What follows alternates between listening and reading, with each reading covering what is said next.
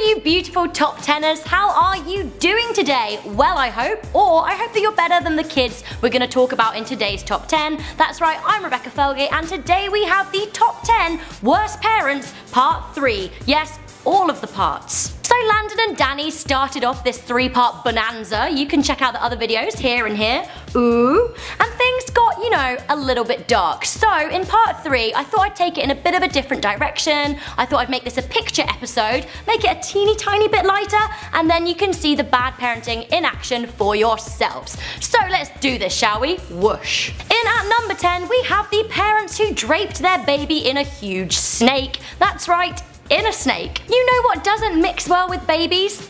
Pythons! Hi Peter, meet Python. Oh, wait, yes, Python. Python who thinks that you could be its dinner, it can engulf you whole. So even if this isn't the baby eating type of python, I still don't think it's a good idea to maybe drape your baby in a snake. It could smother or squeeze it to death.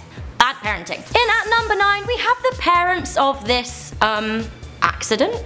Mean, what kind of parents would dress their kid as a condom for the funsies? Parents of this kid, I guess. They're either suggesting that maybe one of these may have come in handy before this boy popped into the world, or they're teaching him a lesson in safe sex a bit too early on. Either way, with this picture floating around in the world, they've pretty much ruined any chance this kid had of being president or like a respected person ever. In at number 8 we have the parents who duct taped their baby to the wall. So at first I looked at this and thought this is kind of cute. They've also duct taped his cuddly toy next to him. He's not alone in this. But then I saw the toy was a duck and realised they were making an inappropriate visual pun. Duct tape.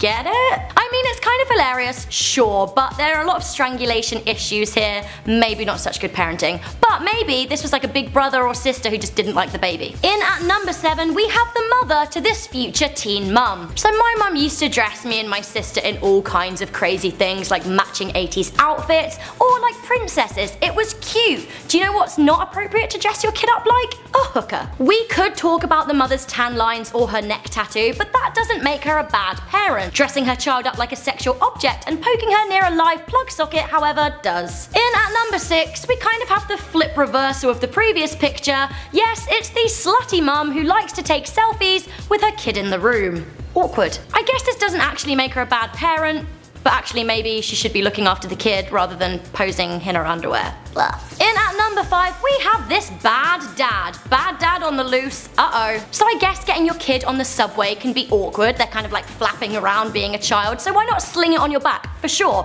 fine. Maybe don't sit down with the kid still on your back though.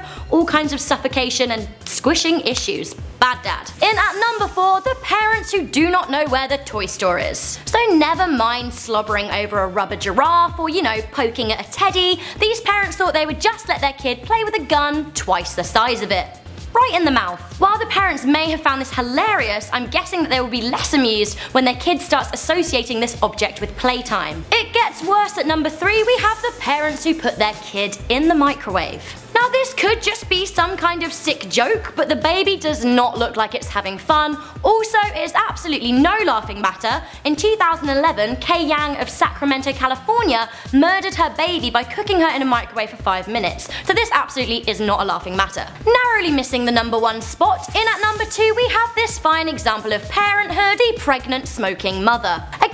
Could have been a really hot day, so she may have had no choice to dress this way in public. Her pre-existing son could indeed be a ninja like his t-shirt suggests, and well, you know, a lot of people drink coke fine. But smoking while you're pregnant and with pictorial evidence out there, this is bad parenting. All kinds of unborn fetal issues. Okay guys, so we have reached that all important moment in our top 10 worst parents part 3. If you thought it couldn't get any worse, it does. In at number 1 we have this neo-Nazi who refuses to give his kid a chance. Nothing like giving your kid a chance to make up their own mind as to who they want to be. This guy has inflicted a symbol of genocide on his child. Fascism just isn't fun. Now their father's t-shirt reads skinhead, but we would remove the S and the N, rearrange the letters a little and add a D and a C in there somewhere somewhere. See what I'm saying? I literally feel sorry for this kid. What chance does he have in the world? So guys, that was our top 10 worst parents part 3. I'm sorry it's a little bit depressing, but hopefully some of it was kind of fun and informative.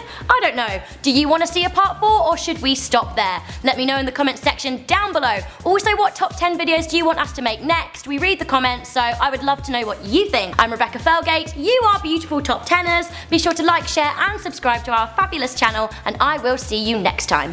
Bye!